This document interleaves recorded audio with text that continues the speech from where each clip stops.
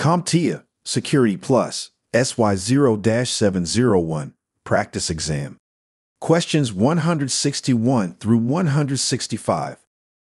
This video is part of our practice exam video series and is filled with questions that closely resemble the real exam. So are you prepared to test your knowledge? Great. Let's begin. Question 161. A company's gate access logs show multiple entries from an employee's ID badge within a two-minute period.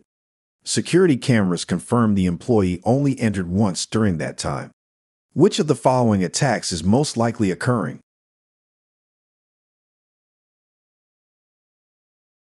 The answer is A. RFID cloning. A cloned RFID badge is a counterfeit copy of a legitimate employee's access badge, created by duplicating the badge's radio frequency identification data. Attackers can capture this data using inexpensive RFID readers placed near the victim, often without the victim knowing. Once cloned, the attacker can use the duplicate badge to enter secure areas, resulting in access logs that show multiple entries from the same ID. This creates a discrepancy that may only be detected through physical security measures, like surveillance footage. Question 162. A security engineer is implementing secure configuration baselines for the organization's infrastructure.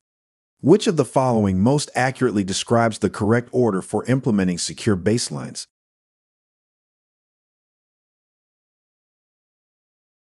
The answer is C. Establish, deploy, maintain. Implementing secure baselines involves first establishing the baseline, which defines the approved configurations for systems and devices.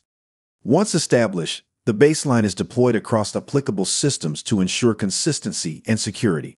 Finally, the baseline is maintained over time through monitoring, updates, and patch management to ensure continued compliance and effectiveness.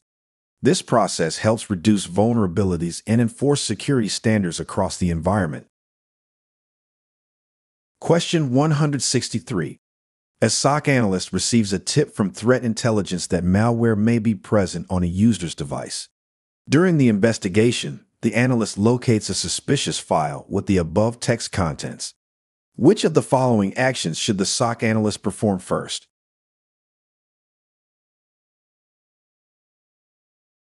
The answer is A. Instruct the user to change their password. The discovery of a file capturing keystrokes strongly suggests that a keylogger is present on the user's device. Based on the text in the file, the most immediate concern is that the user's banking credentials have likely been compromised. The first step should be to instruct the user to change their password, ideally from a secure and trusted system, to prevent further unauthorized access. While actions like isolating the infected system and conducting malware analysis are also critical, securing account access takes top priority. Question 164. A security analyst is reviewing a newly discovered vulnerability in a legacy application. The exploit's success and overall impact seem to change depending on system-specific paths and stored credentials, which are represented as dynamic values that vary between machines. Which of the following is most likely influencing the behavior of the vulnerability?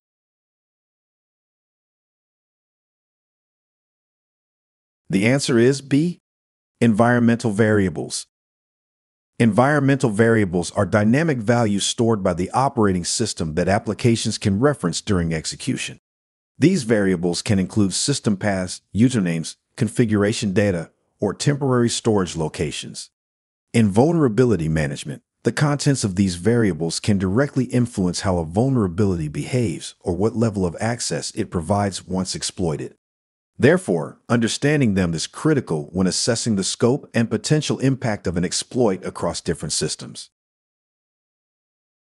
Question 165. A company is implementing a new AAA solution to manage employee remote access to corporate resources. The solution must support centralized authentication, authorization, and accounting, as well as compatibility with a wide range of network devices. Which of the following is the best solution to meet these requirements?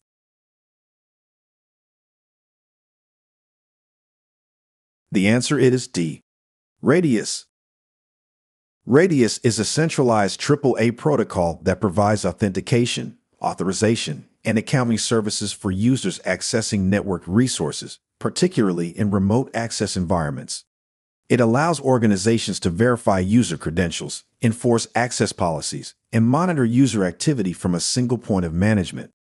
With broad support across VPNs, wireless access points, switches, and firewalls, Radius is a strong choice for managing access in large environments.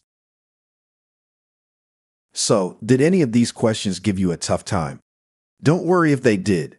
It's all part of the learning process. Luckily, Certification Cynergy has a wealth of free video content at your disposal. To stay connected with our latest IT learning resources, just give a quick click on the subscribe button. This simple action ensures you are always updated about our newest video releases.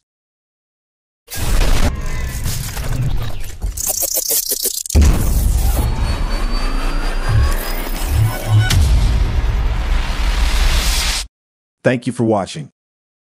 Subscribe for more great content.